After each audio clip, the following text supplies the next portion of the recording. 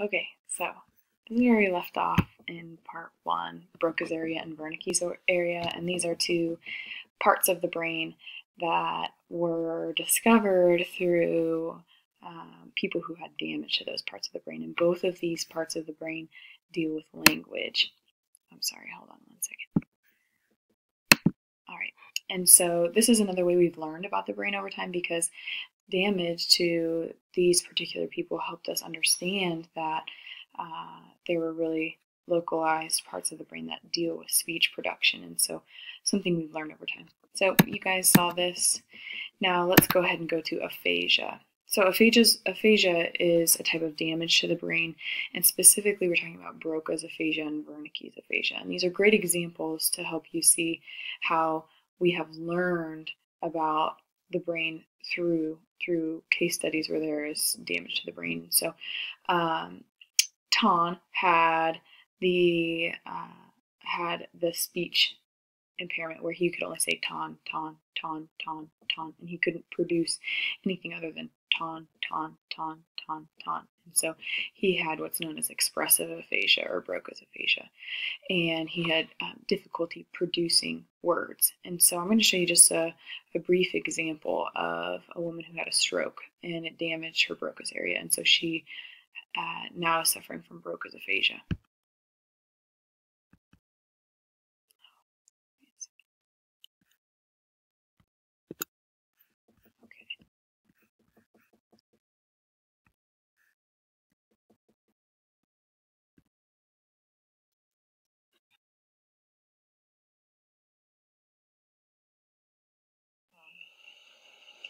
In the stool is a boy? Is it that landing down? The girl is laughing and cookie jar um,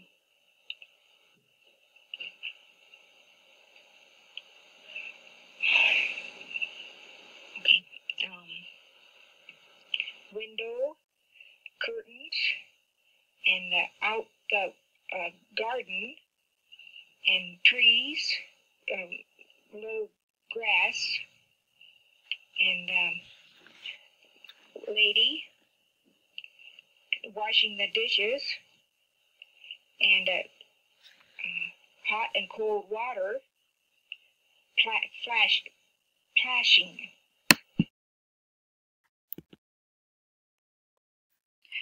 So you guys can see how she had difficulty producing the words. So there there was an understanding. She you could tell she was frustrated. She she she knew what she was thinking. The words weren't coming out. And so that's Broca's aphasia. And so now I'm going to show you just an example of Wernicke's aphasia, and you'll see there's a really big difference. So you can see the frustration in this lady. She's having really difficult. She's having a difficult time saying those words and producing those words uh, Wernicke's aphasia is where uh, they have difficulty having comprehensible speech.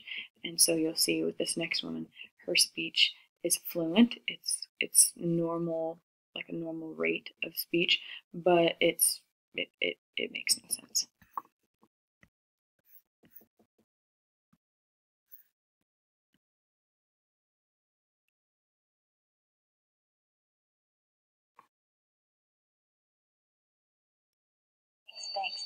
66666.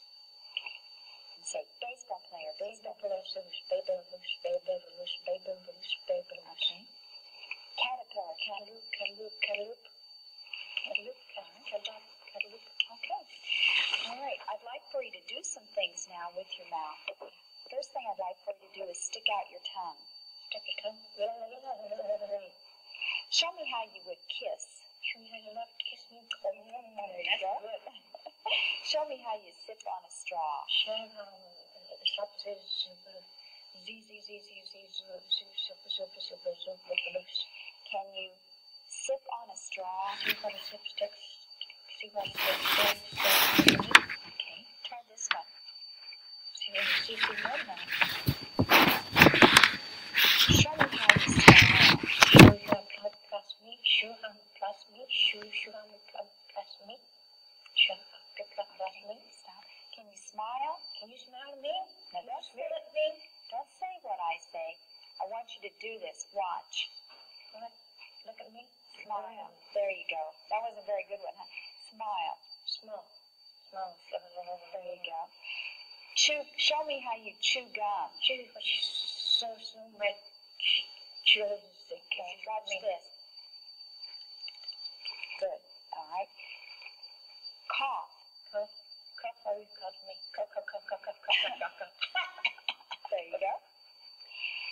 I want you to lick your lips. Let me, let me lick your. Great. Okay. So there we have an example of Wernicke's aphasia. All right.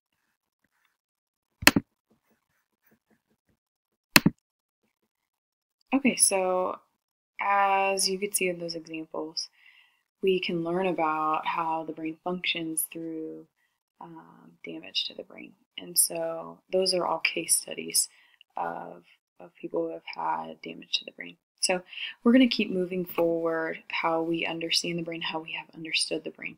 So we're going to move on to talking about different ways that we have learned how parts of the brain function. And, and one of those ways is through lesions. And a lesion is just a, a damage or just an injury to a part of the brain. And anytime there is a lesion to the brain, we will see an impairment, just like with TON, with the Broca's aphasia and Wernicke's aphasia, with Phineas Gage. Uh, with those lesions, we saw that there was damage to functions, but that also tells us that that that when that function is impaired, we know that that part is responsible for that function. And so Phineas Gage is a great example of that, of a case study that uh, helped us understand part of the brain through um, damage.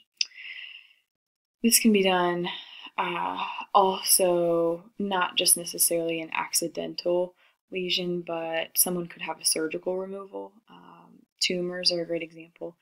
If a person has a, a brain tumor that is operable, the, the, the surgeons will try their very best to only get as much of the tumor as they can, and sometimes they'll even leave parts of the tumor because they don't want to touch that sensitive part of the brain. But if any part of that, that brain is touched, there there will be an impairment somewhere or somehow um, severing neural connections, if there's any kind of um, destruction, any kind of way, electrical, um, any kind of damage that's done can cause a, a lesion in the brain.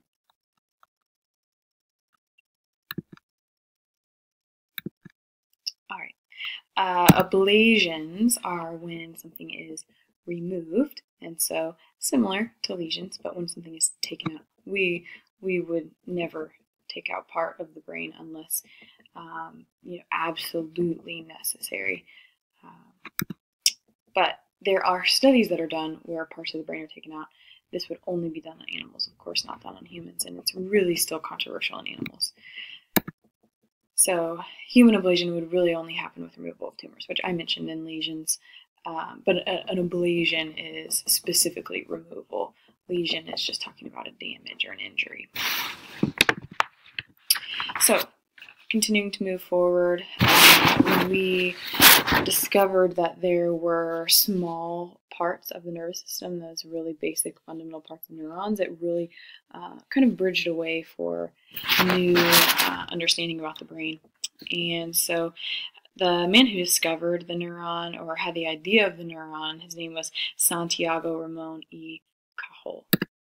And uh, he what basically, he had these new ideas uh, that were really not thought of before. He came up with what was known as the neuron theory and then became the neuron doctrine. But before this, people thought that the nerves were made up of just like this reticular tissue, and that uh, people didn't really think it had this this basic unit called the neuron. And so um, he he theorized this and and it later became doctrine. Now we, we know and believe there are these small little parts called the neuron.